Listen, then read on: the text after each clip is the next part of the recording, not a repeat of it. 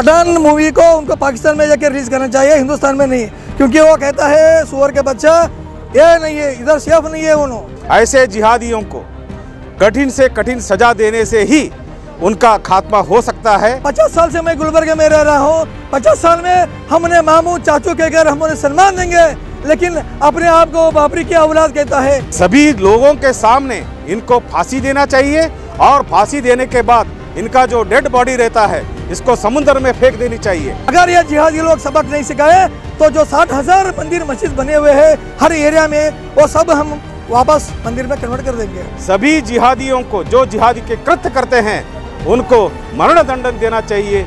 This video present by Raydan multi cuisine restaurant variety of traditional food Arabian Turkish Middle East grand interior genuine spices hygienic kitchen address Tipu Sultan chowk ring road Gulberg फांसी दो फांसी दो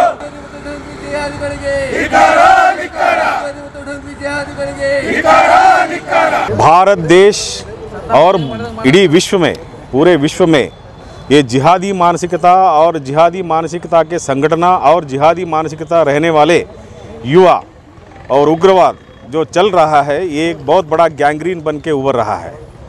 अभी recently Assam में सात हिंदू कार्यकर्ताओं को जिहादियों ने मार डाला है।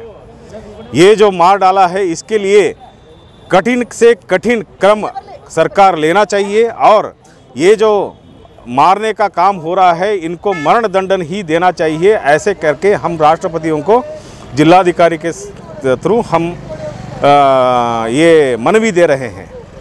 क्यों दे रहे हैं ये मनवी? क्योंकि जिहादियों का जो मानसिकता है इसको जो प्रचुर पढ़ रहा- पढ़ा रहे हैं जो ना जो लीडर्स हैं और जो समाज के कुछ अ, कुछ लोग हैं जो इन लोगों को उन्मत्तता करके उग्रवाद में ढकेल रहे हैं ढकेल के इन लोगों से ऐसे हत्याएँ करवा रहे हैं इसको जिहाद का नाम दे रहे हैं। जिहाद का नाम मतलब जिहाद देख जिहाद एक धर्म युद्ध है। और धर्म युद्ध में मरने के बाद उनको जन्नत की प्राप्ति हो जाएगी, ऐसे कहकर ये युवाओं को ऐसे कामों में ढकेल रहे हैं। ऐसे काम करने से कोई भी विश्व, कोई भी विश्व में कोई भी राष्ट्र आगे नहीं आएगा और युवाओं का खात्मा हो जाएगा। ऐसे जिहादियों को कठिन से कठिन सजा देने से ही उनका खात्मा हो सकता है। इसके लिए जो ये कृत्य करते हैं, उनको सार्वजनिक रूप से मतलब सभी लोगों के सामने इनको फांसी देना चाहिए और फांसी देने के बाद इनका जो डेड बॉडी रहता है, इसको समुद्र में फेंक देनी चाहिए। जन्नत का नसीब कब हो जाएगा?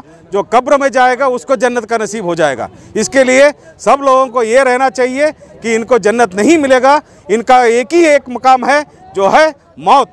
और मौत से सागर में डाल के उनका जो डेड बॉडी उनके परिजनों को नहीं देना चाहिए ऐसे करने से उनका मनोबल कम हो जाएगा और कानून में संविधान में ये अम, बदलाव ला के सभी जिहादियों को जो जिहादी के कृत्य करते हैं उनको मरण दंडन देना चाहिए ये आग्रह विश्व हिंदू परिषद और बजरंग दल के थ्रू से हम लोग कर रहे हैं शेषाद्री कुलकर्णी ವಿಶ್ವ ಹಿಂದೂ ಪರಿಷತ್ ಬಜರಂಗ್ ದಳದ ಈ ಕಾರ್ಯಕ್ರಮ ಯಾವ ಜಿಹಾದಿಗಳಿಗೆ ನಾವು ಪಾಠ ಕಲಿಸಬೇಕಾಗಿದೆ ಹಿಂದಿ जो जिहादियों को सबक सिखाना चाहिए उन जिहादियों को आज सबक हम सिखाना ही चाहिए क्योंकि ये जिहादी लोग क्या कर रहे हैं हमारी माँ बहनों को लूट रहे हैं हमें उनको पचास साल से मैं गुलबर्ग में रह रहा हूँ पचास साल में हमने मामू चाचू के घर हम उन्हें सम्मान देंगे लेकिन अपने आप को बाबरी की औलाद कहता है अपने आप को बाबरी को जोड़ता है तो हमें मजबूरन होकर हमें महाराणा प्रताप या महाराजा शिवाजी बनना चाहिए।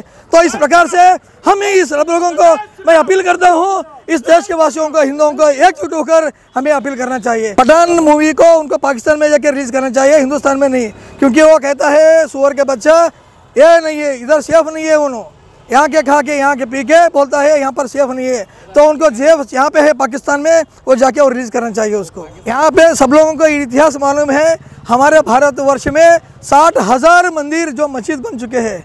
लेकिन हमने तो सिर्फ़ उसमें तीन मांगा था, तीन। अयोध्या, काशी, मथुरा, ये तीन मांगा था। एक से तो हमने कानून ने लिया है। अभी मथुरा और काशी बाकी है, वो दोनों भी हम लेकर रहेंगे।